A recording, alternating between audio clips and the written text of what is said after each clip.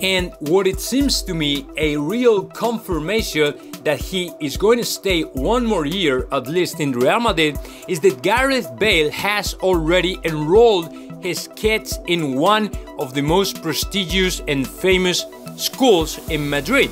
in Colegio Americano, the American school, or whatever you want to call it. And it is located in one of the um, towns, I mean, in the richest towns of Madrid. So that means, and the point here is that according to OK Diario, because all this information, this whole article is coming out from OK Diario, the player, the Wolves player, finally has decided to stay in Madrid. I mean, maybe for some people out there, this means just nothing because last year, as you, as you know,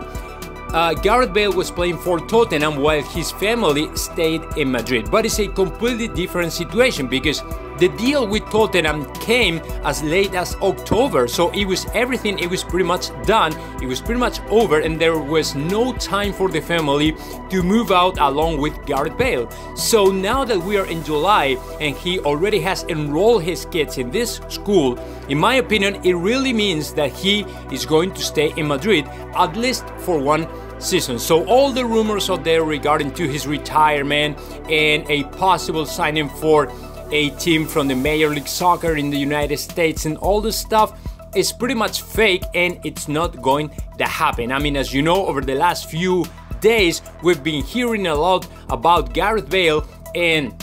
the possibility for him to stay in Madrid and also Carlo Ancelotti wants to try to motivate the player to become again as important as he used to be in the past. So we'll see what happens, but in my opinion, Gareth Bale can become again the greatest player we saw